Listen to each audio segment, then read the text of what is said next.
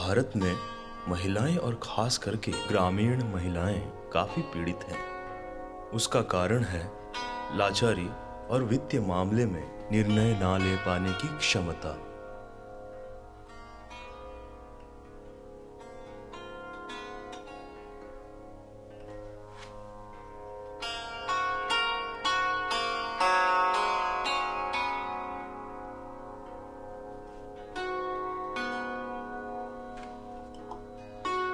दुनिया भर में सामाजिक जागरूकता बढ़ने की वजह से महिलाओं को आत्मनिर्भर बनाने के लिए और उन्हें आगे लाने के लिए बहुत सारे योजनाएँ और मुद्दों पे काम हो रहा है।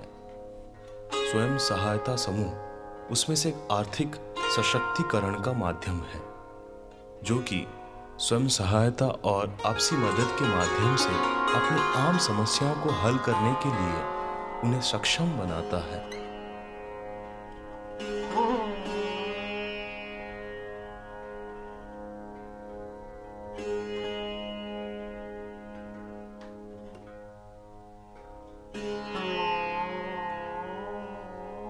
जब से समूह बने हैं हमारे तो समूह से लेन देन करने लगे। वो दो रुपये लगत, लेकिन हमें समय पे तो मिल जाता। जब से बनी है आई है सृजन संस्था, और हमारे जुड़े ही हो जब से हमारों के खेती बाड़ी को मौका नहीं आ पाते, हमारे अपने समूह में से काम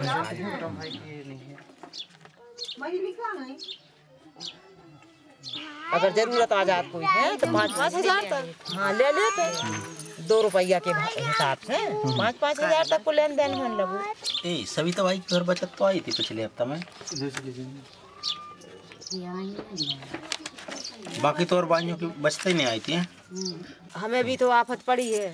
तो हम समूह से लेन देन करे हैं तो हमारे लड़कों की पढ़ाई बंद नहीं हो पाई। वो नहीं तो फ़सल के देखते हम तो उनकी तो भी तो बैठ ही जाती घर। आज भी दो साल हो गए बीएड कर रहे। आखिरी समय चल रहा है। तो हमें समूह से इतना लाभ होगा कि दो हज़ार लाए पता नहीं वे दो हज़ार, कितने दो हज़ार कमा रहे थे। और नहीं तो वे बंद करके बैठ जाते। हम वो आप नहीं देखते रहते, हैं। तो हमें समूह से जो लाभ मिलो है। सब कोई तो धंधे कर रहा है दुकान रख रहा हो सब कर रहा हो। और आज हम पढ़ाई में लगा रहे हैं। घर में नहीं खा रहे हैं पढ़ाई में लगा रहे हैं। हो सकत कहाँ के कहाँ पहुँच रहे हैं। कितने दो हज़ार कमा है फिर। तो सब कर रहा हूँ डबल भी और जैसे तुम नहीं बनाते तो काम हमारे कौन कछु जानते आते और ये गाँव के तो पहली बात भैया हमारे तो जानता ही नहीं आते रात में। और जब से जैसा समय बने पूरा गाँव दस कते करने लगी बूढ़ी बूढ़ी लो। अब ना कोई न जानत तो सही में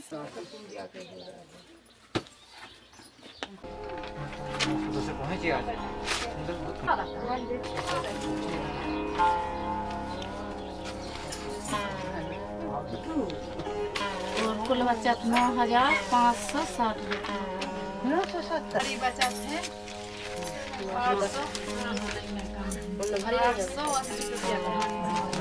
हमारी बचत नौ सौ तीस रुपया। और सब बानियों की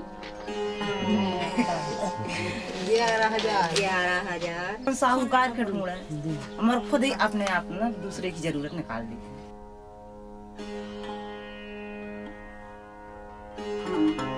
स्वयं सहायता समूह के प्रमुख विचार इन सिद्धांतों पर आधारित है। स्वयं सहायता तथा आपसी मदद गरीबों की आर्थिक सशक्तिकरण में महत्वपूर्ण भूमिका निभा सकता है। भागीदारी पर आधारित वित्तीय सेवा ज़्यादा सक्षम एवं प्रभावी है। गरीबों को वित्तीय सहायता के साथ साथ जमा पूंजी की आवश्यकता होती है। गरीबों का सामाजिक आर्थिक विकास के लिए आपसी मदद एक शक्तिशाली वाहन हो सकता है।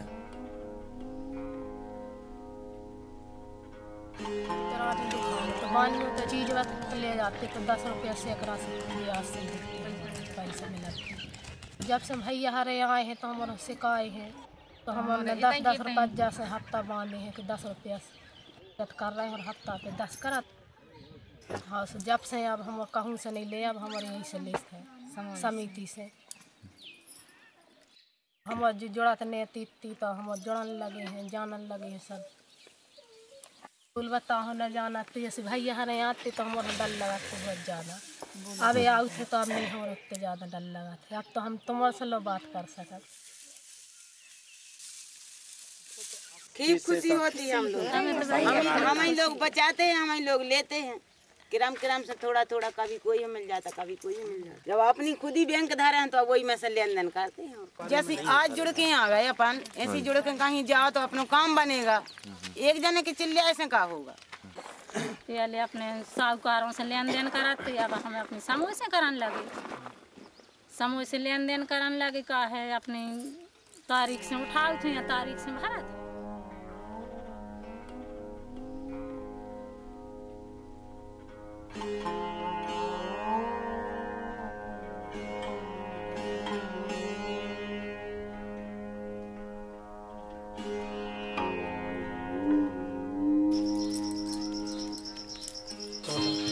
पहले तो करे हम लोग को पॉपुलर को धंधो करो थोड़े पैसा लेके ओके, बाद में है तो हम लोग ने बकरिया खरीदी। बकरिया के बाद में है तो हमने चुड़ियों को धंधो करो। भाई चुड़ियों को धंधो करे के बाद में है तो अपन हम फ़ायदा सब लोग बोले कि तुम्हें कौन सी फ़ायदा है इसे? नहीं बोले कि भाई हम अबे तो नहीं है, मगर आगे चल के हमें हो भी। फिर भी हम क्यों में से तीन हज़ार लाए, तीन हज़ार में से हमने वो भी चुकावे के बाद में चार हज़ार रुपया हमने बरका लाए हाँ। काचू नहीं बैठी हमने पॉपुलर धंधो करो तो पैसा हमने डब्बा में से लाए थे। पाँच सौ रुपया। हाँ पॉपुलर के धंधे खिलाए थे। और फिर हमने डेढ़ हज़ार सब्ज़ी के लारे लाए थे। आलू लगाए थे। स्वाभाविक में लेकिन खुद ही भी नहीं है। इसका काम करने का सहज लोकतांत्रिक प्रणाली है। उधार। मुख्यतः विश्वास पर दिया जाता है और बिना किसी निधियाँ या दस्तेवाज को मद्देनजर रखते हुए दिया जाता है। इसकी वजह से ग्रामीण साहूकारों पर निर्भर नहीं करते। ग्रामवासी, समूह में, गाँव के मुद्दों और समस्याओं के बारे में चर्चा कर सकते हैं। गरीब महिलाएँ गाँव स्तर में अलग अलग समूह बनाते हैं। एक ब्लॉक के सभी समूह को इकट्ठा करके संकुल बनता है। एक ज़िले में विभिन्न ब्लॉकों से सभी संकुल को जोड़ के फिर महासंघ बनता है, जहाँ हर संकुल से दो सदस्य जाते हैं। इस वजह से वो आपसी मदद के लिए अपनी पहुँच का प्रसार कर सकते हैं और उनके सामाजिक समस्याओं के बड़े मुद्दों पर चर्चा कर सकते हैं। सन 2000 में स्थापित सृजन एक गैर सरकारी संस्था है। ये ग्रामों में स्वयं सहायता समूह के माध्यम से पैसे बचत के लिए प्रोत्साहन देता है और भारत के गाँव में स्थायी जीविका तथा महिला सशक्तिकरण के लिए काम करता है।